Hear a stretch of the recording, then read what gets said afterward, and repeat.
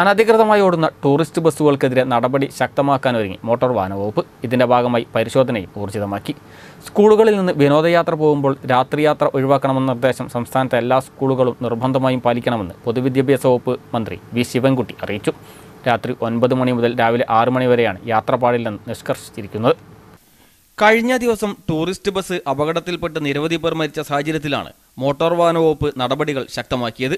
ജില്ലയിൽ വിവിധ ഭാഗങ്ങളിൽ മോട്ടോർ വാഹന വകുപ്പിന്റെയും പോലീസിന്റെയും നേതൃത്വത്തിൽ വാഹന പരിശോധന ഊർജിതമാക്കി.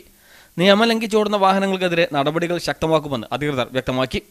ബസ്സുകൾ പരിശോധിച്ച് അവരെ സ്പീഡ് ഗവർണർ ഡാൻസിങ് ഫ്ലോർ പിന്നെ അധികമായുള്ള ലൈറ്റുകൾ ഇതൊക്കെ പരിശോധിക്കുന്നുണ്ട്. പിന്നെ ഓൾട്രേഷൻസ് പെയിന്റ് ഓൾട്രേഷൻസ് ആണെങ്കിൽ അത് പിന്നെ വേറെ എന്തെങ്കിലും അവർ മാറ്റം വരുത്തുന്നുണ്ടെങ്കിൽ രൂപമാറ്റങ്ങൾ അനധികൃതമായി മാറ്റം വരുത്തുന്നുണ്ടെങ്കിൽ അത് ചെയ്യുന്നുണ്ട്.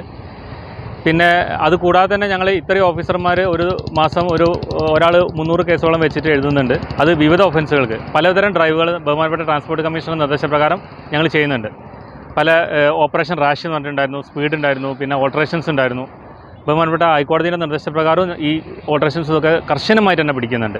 അതിനിടെ കേരള ടൂറിസം വകുപ്പ് അംഗീകാരം നൽകിയിട്ടുള്ള ടൂർ ഓപ്പറേറ്റർമാരുടെ പട്ടികയിലുള്ള വാഹനങ്ങൾ മാത്രമേ പഠനയാത്രകൾക്ക് ഉപയോഗിക്കാവൂ എന്ന് നിർദ്ദേശം നൽകിയിട്ടുണ്ട്. രണ്ടായിരത്തി ഇരുപത് മാർച്ച് രണ്ടിലെ ഉത്തരവിലൂടെ കൂടുതൽ സമഗ്രമായ നിർദ്ദേശങ്ങൾ പൊതുവിദ്യാഭ്യാസ വകുപ്പ് പുറപ്പെടുവിച്ചിരുന്നു. എല്ലാ യാത്രകളുടെയും പൂർണ ഉത്തരവാദിത്തം സ്ഥാപനങ്ങളുടെ തലവന്മാർക്കാണെന്ന് വ്യക്തമാക്കിയിട്ടുണ്ട്. പഠനയാത്രകൾ കുട്ടികളുടെ പഠനവുമായി ബന്ധപ്പെട്ടുള്ളതാകണം. യാത്രയുടെ സമഗ്ര വിവരങ്ങളെക്കുറിച്ച് പ്രധാനാധ്യാപകന് കൃത്യമായ ബോധ്യമുണ്ടാവണം. വിദ്യാർത്ഥികൾക്കും ഇത് സംബന്ധിച്ച് മുൻകൂട്ടി അറിവ് നൽകണം.